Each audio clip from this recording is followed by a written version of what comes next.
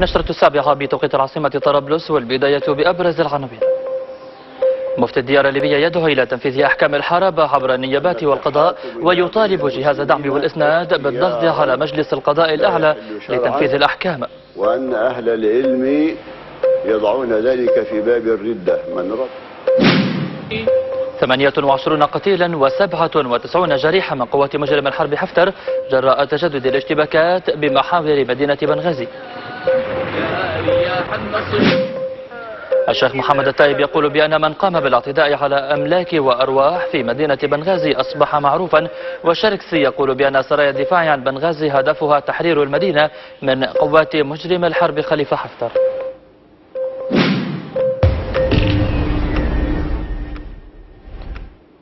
أهلا بكم. قال مفتي الديار الليبية فضيلة الشيخ صادق الغرياني في برنامج الإسلام والحياة على قناة التناصح أن التحاكم إلى غير المسلمين اختيار لا يحل مضيفا أن أهل العلم يضعون ذلك في باب الردة. أن التحاكم إلى غير المسلمين اختيارا لا يحل شرعا وأن أهل العلم يضعون ذلك في باب الردة. من رضي به اختيارا وقام به اختيارا يدخل فعله وعمله في باب الردة. نعم. هذا لأن ما ورد في المسودة هو آه، عرض على الليبيين اختيار اختاروه وسموه توافقا توافقا وهم اختاروه لأن يكون دستورا حاكما لهم. فما يفعلونه اختيارا كل من رضي بذلك يدخل في هذا الوعيد. ودعا فضيلة المفتي إلى تنفيذ أحكام الحرب عبر النيابات والقضاء مضيفا أنه طالب من كل الجهات في الدولة إلى تنفيذ أحكام الحرب. تنفيذ الأحكام كنا نتمنى ألا يتم إلا من خلال الجهات المعتمدة لذلك وهي النيابات والقبض من مراكز الشرطة وحكم المحاكم. هذا الذي كنا ندعو إليه ونتمناه. وهو الذي يحد من الفوضى ومن سفك الدماء ومن الهرج والمرج وقد طالبت بهذا الحكم الذي نفذه الآن آه، كما ذكرت لي آه، أو الإسناد أو غيرها من هذه المؤسسات التابعة لوزارة الداخلية. طالبت أن ينفذ هذا الحكم حكم الله عز وجل في القطاع الطرق في المحاربين مرارا وتكرارا سرا وعلانية. طالبت آه، حكومة الإنقاذ ووزارة العدل ورئاسة المؤتمر الوطني العام وأعلنت ذلك في خطابات. وطالب فضيلة المفتي جهاز الدعم المركزي والإسناد بالضغط على مجلس القضاء الأعلى لفتح المحاكم المستعجلة وتنفيذ أحكام الحربة. فرقة الدعم والإسناد عليها بدل أن تقوم بهذا الأمر بنفسها أن تتجه إلى مجلس القضاء الأعلى وتضغط عليه بكل الوسائل الممكنة ليشكل هذه المحاكم في نطاق القانون حتى لا يؤخذ عليهم بأنهم يعني يفعلون أعمالا خارج القانون وربما يسائلونهم فيما بعد ما قاموا به من تطبيق الأحكام. تطبيق الأحكام واجبة. لكن يجب عليهم أن يتجهوا إلى مجلس القضاء الأعلى ويضغطوا عليه بكل الوسائل الممكنة بحيث هو الذي يقوم بهذا المهمة لا هم أنفسهم يقومون بها. أكدت مصادر مطلعة أن اشتباكات دارت بين قوات مجلس شورى ثوار بنغازي وقوات مجرم الحرب حفتر بعدة محاور بمدينة بنغازي السبت أدت إلى سقوط 28 قتيلا و97 جريحا وصلوا إلى مراكز طبية مختلفة. وأضافت المصادر أن ستة قتلى و22 جريحا إلى مستشفى بنغازي المركزي في حين وصل إلى مستشفى المقريف بمدينة جدابيا 12 قتيلا و30 جريحا منهم 12 حالة بتر بينما رصد 10 قتلى من مناطق الناقلية وسلوق وفزوعة و38 جريحا من المناطق ذاتها إصابتهم متفاوتة. استعاد مجلس شورى ثوار بنغازي السبت المواقع التي كان قد انسحب منها إثر هجوم قوات مجرم الحرب حفتر على المحاور غربي المدينة. المجلس وعبر مراسله الإعلامية أفاد أن شورى الثوار استعاد السيطرة على العديد من المناطق التي كان قد انسحب منها في محاور جريونس وقنفودة مضيفا أن الانسحاب كان حفاظا على أرواح الثوار لإطالة أمد المعركة واستنزاف قوات العدو حسب ما ذكر المراسل. يذكر أن قوات مجرم الحرب حفتر أعلنت الأيام الماضية عن انطلاق ما أسمتها بعملية تحرير مدينة بنغازي قال مصدر إعلامي من مجلس شورى ثوار بنغازي الأحد أن قوة المجلس أعضبت دبابة لقوات مجرم الحرب حفتر بالمحور الغربي للمدينة. المصدر ذكر أن هناك أنباء عن مقتل قيادي لدى قوات مجرم الحرب حفتر أثناء الاشتباكات بالمحور الغربي مضيفا أن 28 قتيلا و97 جريحا من قوات الأخير هي حصيلة الاشتباكات الأخيرة. يشار إلى أن قوات مجلس شورى ثور بنغازي تخوض معارك مع قوات مجرم الحرب حفتر بمحاور عديدة في مدينة بنغازي.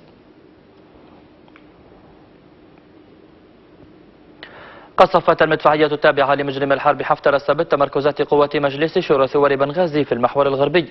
مصدر من شورى المدينة أوضح أن القصف كان بالمدفعية الثقيلة والصواريخ الليزرية الموجهة مضيفا أنه تم رصد طائرة من نوع F-15 لأول مرة في سماء بنغازي. هذا وأفاد المصدر أيضا أن الاشتباكات لا زالت تدور بين قوات المجلس وقوات مجرم الحرب حفتر في العمارات الصينية بمحور الجوارشة موضحا أن قوات مجرم الحرب حفتر لن تتمكن من السيطرة عليها إلى الآن. يذكر أن أحد الصحف الأمريكية نشرت الأسبوع الماضي تقريرا عن وصول أسلحة وقوات أجنبية لدعم قوات مجرم الحرب حفتر في مدينة بنغازي.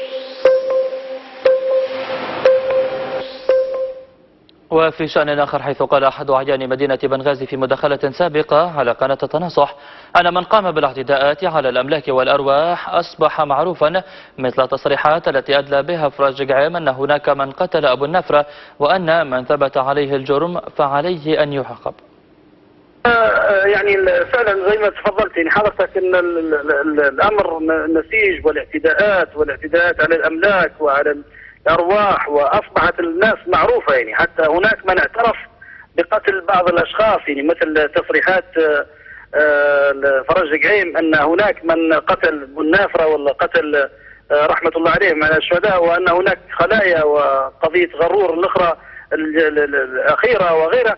يعني فهذه لا شك. ولكن نحن يعني كلنا تحت شرع الله سبحانه وتعالى وتحت يعني أمر الله عز وجل فمن ثبتت عليه الجرم وثبت عليه هتك الأعراض وقتل الدماء وغيرها هذا لابد أن يعاقب. أكد القيادي بسرايا الدفاع عن مدينة بنغازي العميد مصطفى الشركسي بمداخلة هاتفية على قناة التنصح السبت أن السرايا مكونة من عسكريين ومدنيين وثوار يهدفون لتحرير مدينة بنغازي من قوات مجرم الحرب حفتر التي عاثت فسادا في الأرض. نحن منذ البداية قلنا أن سرايا الدفاع عن مدينة بنغازي الاسم هذه السرايا أنها سرايا من مكونة من عسكريين ومدنيين ثوار مدينة بنغازي هدفها الأساسي هو تحرير مدينة بنغازي من هذا المجرم الحرب حفتر الذي عاث فيها فسادا وأضاف الشركسي أن سرايا ساندت الثوار في مدينة جدابيا لاستعادة مدينتهم من قوات ما يعرف بعملية كرامة نافيا وجود أي نواجا لدخول المدينة. إنما نحن ساندنا ثوار مدينة جدابيا وساعدناهم على استرجاع مناطقهم السابقة التي أخرجها منهم مدعي الكرامه ومجرمي وميليشيات حفتر. ونحن الآن موجودين على مشارف مدينة جدابيا ولو أردنا الدخول لمدينة جدابيا لا قوة إلا بالله فقوتنا باستطاعتها قلناها كذا مرة باستطاعتها الدخول لمدينة جدابيا لا ياخذ منا الأمر أكثر من نصف ساعة فهؤلاء الصحوات وبقايا ميليشيات المارق حفتر لن تقف أمامنا إلا نصف ساعة بالكثير ولكن نحن لم تكن لدينا نية في الدخول إلى مدينة. الشركسي أشار إلى قيام سرية من سرايا الدفاع عن بنغازي بمساعدة غرفة عمليات تحرير جدابيا في موقع النهر الصناعي والطريق الرابط بين جزيرة جدابيا وجالو وتوفير كافة أشكال الدعم المتوفر لهم. ساعدنا سريه من سرايانا ساعدت غرفة عمليات ثوار جدابيه وهم ابناء مدينة جدابيه شباب من قبائل محترمة من قبيله المغاربه وقبائل زوية وقبائل مكونات جميع مكونات مدينة جدابية. ساعدناهم في استرجاع مناطقهم في موقع النهر الصناعي وفي السكنية وفي الصناعية وفي الطريق الرابط ما بين جزيرة جدابية وجالب. طيب. وبالعودة إلى آخر الأوضاع في مدينة بنغازي ينضم إلينا أحد الثوار من مجلس شورى ثوار المدينة محمد اليدري. بداية سيد اليدري ما هي آخر المستجدات في محاور القتال في المدينة؟ مرحبا. السلام عليكم. وعليكم السلام. والصلاة والسلام على رسول الله والصلاة والسلام على رسول الله.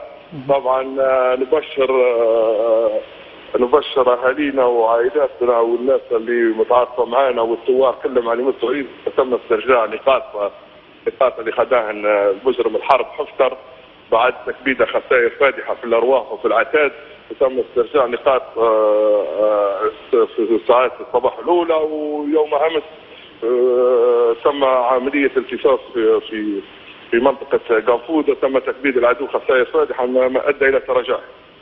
مهم.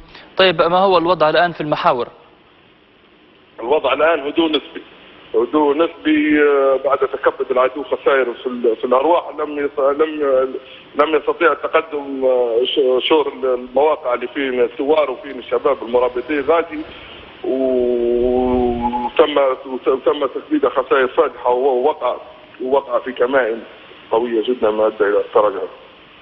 طيب آه، وردتنا بعض المعلومات على أن آه، ال- المدفعية التابعة لمجرم الحرب حفتر قصفت بعض المناطق لمجلس شورى ثوار بنغازي. هل هناك شهداء أو قتلى؟ أي شهداء أو جرحى عفوا. لا لا, لا يوجد شهداء يوجد عدد بسيط بالجرحى من استهداف المدفعية لأن المدفعية بعد بعد- ما تكبد خسائر في في ال- في المشاة وفي ال- في العتاد يقوم بتعويض خسائره بضرب المدفعية وصواريخ الجارات اللي في الضرب العشوائي على على المواقع اللي الع- العائلات والمدنيين. طيب بالنسبة للشباب من الأسر المهجرة من مدينة بنغازي كيف هي استجابتهم للالتحاق بالمحاور للقتال طبعا النقطة هذه نقطة مهمة. شكرا اخويا على على سؤالك هذا. طبعا تم التحاق عدد كبير من الشباب المتواجدين في المنطقة الغربية ومن الناس اللي بتتعاطفوا معنا اللي عارفين ان إحنا ما لا دواعش لا شيء. وتم التحاق هذول كلهم آه، بنا والتحاق بمعسكراتنا في المنطقة الغربية. وتم آه، تم تم تم بعثهم عن طريق البر والبحر. وتم التنسيق آه، معهم كيف الاليه الوصول إلى مدينة بغداد والالتحاق بأخوتهم غادي. ونبوا استجابة من الشباب اللي متواجدين في المنطقة الغربية أنهم يلتحقوا باخوتهم اللي في مدينه بغداد توحيد الصفوف. نعم. طيب بعد آه، استرجاعكم لتمركزاتكم كيف تتوقعون سير المعارك الآن؟ والله نتوقع آه، آه، سير المعارك الآن إلى الأحسن إن شاء الله بإذن واحد أحد إلى الأحسن. وطبعا في أقل من أقل من في أك... في ممكن في ثلاث أيام أو أقل من 48 ساعة تسمع أخبار طيبة إن شاء الله نعم. ممتازة جدا جدا. نعم إذا آه، أحد ثوار مجلس شورى ثوار بنغازي كنت معنا عبر الهاتف شكرا جزيلا لك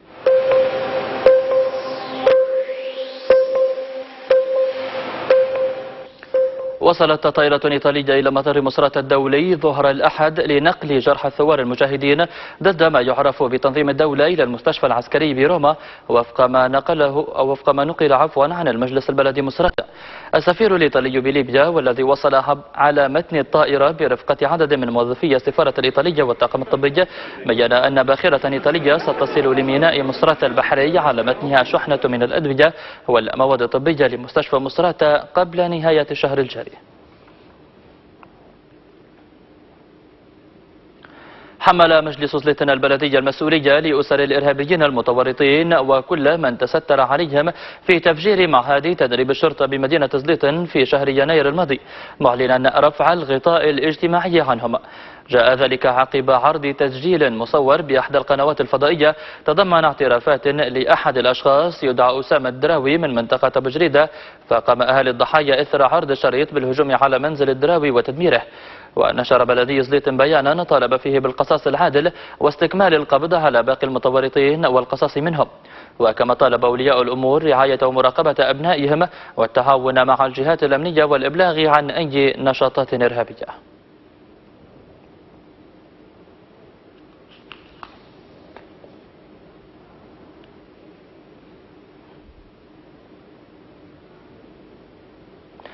أفاد مصدر مطلع من داخل مجلس النواب بطبرق أنه تم الاتفاق على عدم منح الثقة للمجلس الرئاسي المقترح. وأكد المصدر أن البرلمان اتفق على اختيار مجلس رئاسي جديد وفق قاعدة رئيس ونائبان مشيرا إلى وجود إجماع على اختيار محمد شعيب عضو مجلس النواب المنحل رئيسا للمجلس الجديد وأن رئيس البرلمان يؤيد هذا الاقتراح.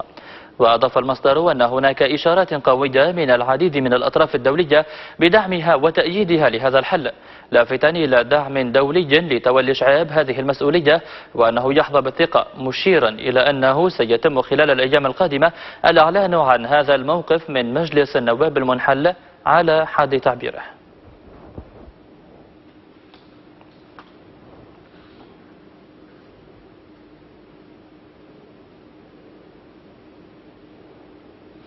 وبالعودة إلى مدينة زليت ينضم إلينا عضو المجلس البلدي زليت السيد بشير البرناني.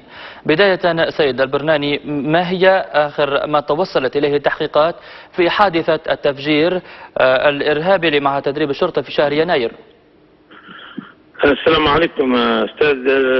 طبعا أمس آه، كان يوم آه، حزن على مدينة زيتن ببعض التسريبات شريط آه، تحقيق آه، اللي هو في خصوص التفجير طبعا آه، كانت الاسامي موجودة و- وكل مدينه زيتن يترقبوا في هذا الشريط نعم. آه، كان حزن كبير على مدينة زيتن و... وتفاعلت شباب مدينة زيتن ب آه، رد فعل على صاحب الجريمة اللي هو أسامة الدريوي اللي قام بتفجير مدينة زيتن و... والمنزل اللي هو ساكن فيه وتجمع آه، تنظيم الدولة فيه وتجميع الذخيرة فيه قاموا شباب مدينة زيتن بتفجير هذا المنزل و...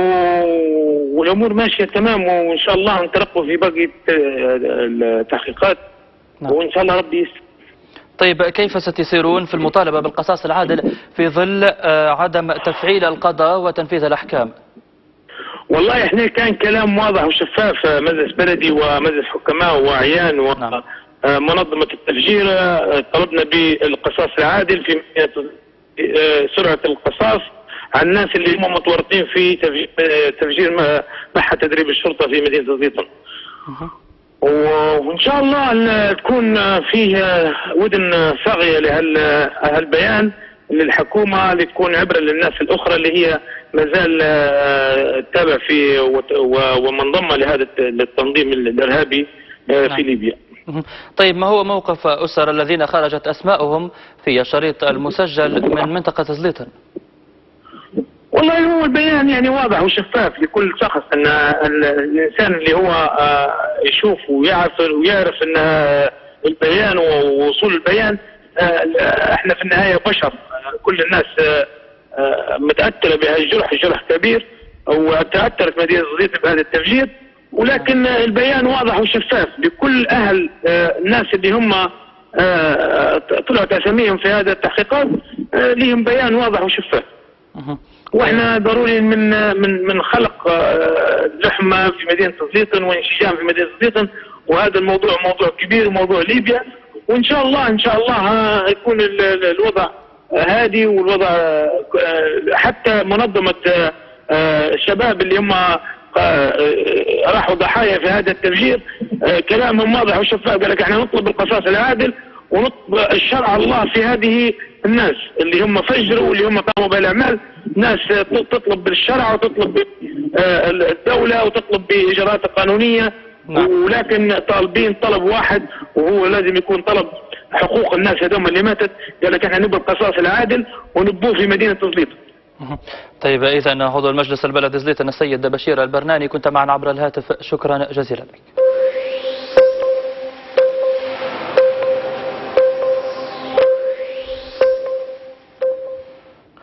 أعلنت عناصر حرس السواحل التابع لنقطة مصفاة الزاوية بالقطاع الغربي عن ضبط أكثر من ألف مهاجر غير شرعي من جنسيات عربية وأفريقية.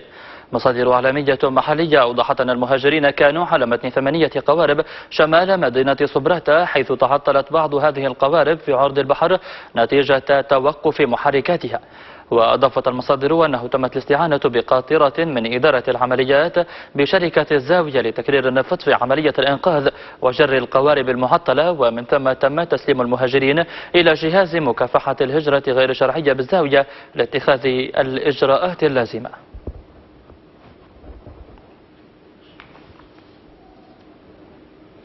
شرعت الشركة العامة للكهرباء بمدينة ترهونة في إطلاق حملة تهدف إلى صيانة وتركيب أعمدة الإنارة بشوارع وميادين المدينة كافة. وتأتي هذه الحملة كخطوة إيجابية في طريق تحسين مستوى الخدمات وإظهار شوارع المدينة بالمظهر الحضري إضافة إلى تسهيل حركة المركبات الآلية وتوفير الأجواء الملائمة لراحة المواطنين خاصة خلال أيام وليالي شهر رمضان المبارك.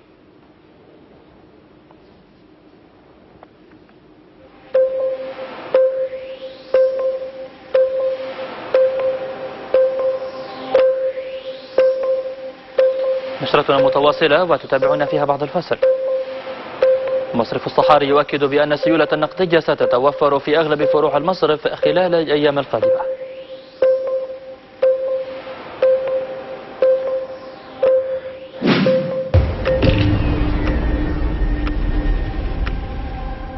بالحب تلقاك البدور ضيف الأماني والسرور.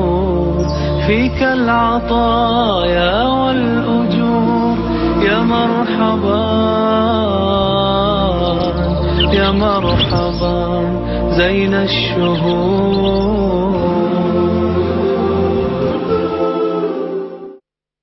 يمكنكم متابعتنا على الفيسبوك dot com slash تناصح TV أو على تويتر dot com slash تناصح TV. أو يمكنكم مشاهدتنا على قناتنا في اليوتيوب مؤسسة التناصح أو يمكنكم التواصل على التليجرام تناصح TV بالحب تلقاك البدور ضيف الأماني والسرور. فيك العطايا والأجور يا مرحبا. مرحبا زين الشهور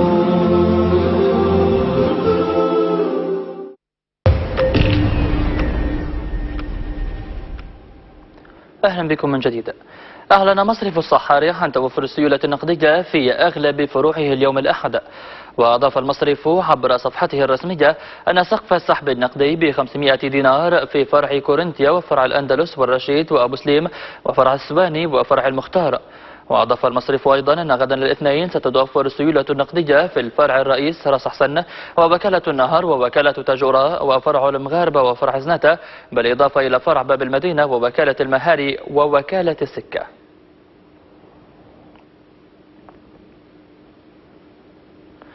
أغلق عدد من المسلحين مستشفى برك الشاطئ العام بعد أن اقتحموه واستقروا في أجزاء منه وأغلقوا كافة الأقسام الطبية فيه. عميد بلدية برك الشاطئ إبراهيم زمي قال في تصريحا لموقع أجواء نت السبت أن المسلحين الذين اقتحموا المستشفى لا يمثلون أي مكون اجتماعي في المنطقة. موضحا أن المستشفى كان شبه خال ساحة الاقتحام ولم تقع أضرار بشرية نتيجة الاقتحام. يذكر أن مستشفى براك الشاطئ العام كان قد شهد عدة أعطال في أقسامه منها احتراق ثلاجة الموتى وتوقفها عن العمل في الشهر الماضي. قرر المجلس المحلي بنوليد فتح طريق مؤقت لحل أزمة الطريق الرابط بين المناطق الشرقية والغربية ومدن الجنوب. جاء ذلك عقب اجتماع عقد لمناقشة مسألة صيانة الطريق الرابط بين جامعة بنوليد وطريق المطار وحضر الاجتماع كل من مدير مكتب المشروعات بالمجلس المحلي بنوليد ومندوبين عن شركة الكهرباء والمرافق والمرور وشركة المياه والصرف الصحي. هذا وقرر المجلس البلدي لمدينة غريان تكليف لجنة من المجلس وبعض المسؤولين ببلدية غريان للتواصل مع مكتب إصدار غريان ومصرف ليبيا المركزي والجهات ذات العلاقة لتوفير السيولة بالمصارف. جاء ذلك عقب اجتماع عقده المجلس البلدي لمدينة غريان لبحث مشكلة نقص السيولة في المصارف لوضع الحلول العاجلة لها وتذليل كافة الصعاب من أجل تقديم أفضل الخدمات المصرفية للمواطن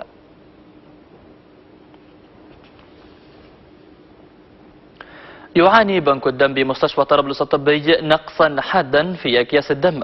الطبي وعلى لسان مدير قسم التحاليل قال الأحد أن القسم يعاني نقصا حادا في أكياس الدم وأن البنك لم يعد يستطيع أن يقدم الخدمة لأكثر من يومين آخرين لعدم حصوله على عدد كاف من أكياس الدم.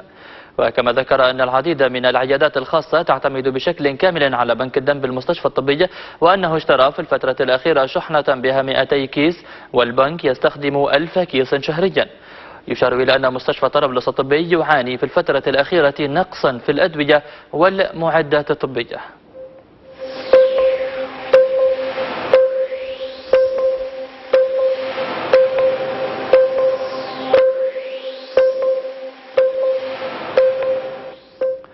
وزع مشروع مسلات الخير السبت سلات غذائية على نازحي المدينة من مدينة بنغازي ومدينة سرت. مشروع مسلات الخير أطلق حملة إفطار أسرة صائمة ووزع على إثرها 60 سلة غذائية على كل الأسر النازحة من مدينتي بنغازي وسرت. وكما أن هذه هي المرحلة الثانية من الحملة التي يقوم بها المشروع. يشار إلى أن مشروع مسلات الخير مشروع خيري تطوعي يتكون من ثلاث مراحل يهدف إلى مساعدة الأسر النازحة المقيمة في مدينة مسلات طيلة شهر رمضان المبارك. انطلقت السبت المسابقة الثانية الكبرى في حفظ المتون العلمية والتي أقامتها الجمعية الليبية لعلوم الكتاب والسنة بمسجد باقي بمدينة طرابلس. عضو الجمعية قال إن هذه المسابقة تنقسم إلى جزئين. الجزء الأول هو حفظ أبيات من نونية القحطاني وهي للأطفال دون سن الخامس عشر. والقسم الثاني, والقسم الثاني هو حفظ نظم الأجرومية كاملا لجميع الأعمار. هذا وحضر انطلاق مسابقة رئيس الجمعية الليبية لعلوم الكتاب والسنة والمدير التنفيذي للمسابقة محمد الكاتك من أوقاف طرابلس وعدد من أولياء الأمور المصاحبين.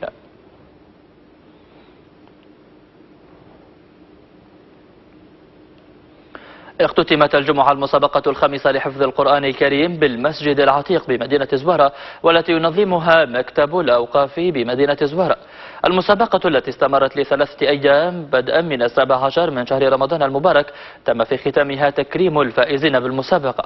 هذا وحضر الحفل الختامي للمسابقة الخامسة عميد بلدية زوارة وعدد من أعضاء البلدية وعدد من مشايخ المدينة بالإضافة إلى جمع من أهالي المنطقة وأولياء الأمور المرافقين لأبنائهم الطلبة.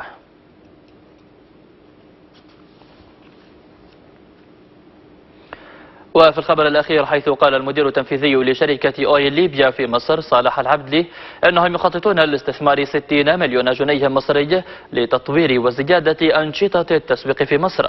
العبدلي قال في تصريح صحفي الجمعة أن التطوير يتضمن تغيير المظلات والأرضيات وهدم المحطات المتهالكة وبناءها من جديد بشكل يرضي الزبائن.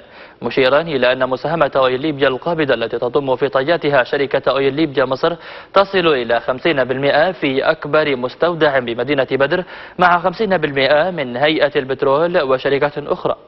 يذكر أن محطة البنزين التابعة لشركة أويل في مصر يصل عددها لثمانية وثمانين محطة.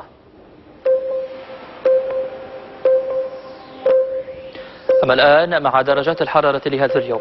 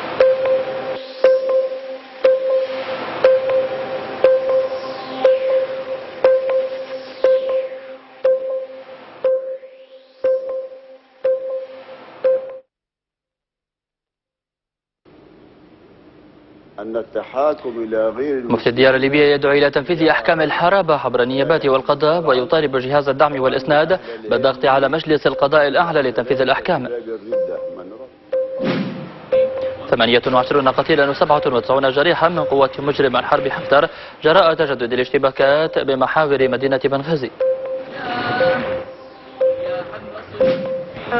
الشيخ محمد التايب يقول بأن من قام بالاعتداء على الأملاك والأرواح في مدينة بنغازي أصبح معروفا وشاركسي يقول بأن سرايا الدفاع عن بنغازي هدفها تحرير مدينة بنغازي من قوات مجرم الحرب حفتر. وتبعتم أيضا مصرف الصحاري يؤكد بأن السيولة النقدية متوفرة في أغلب فروع المصرف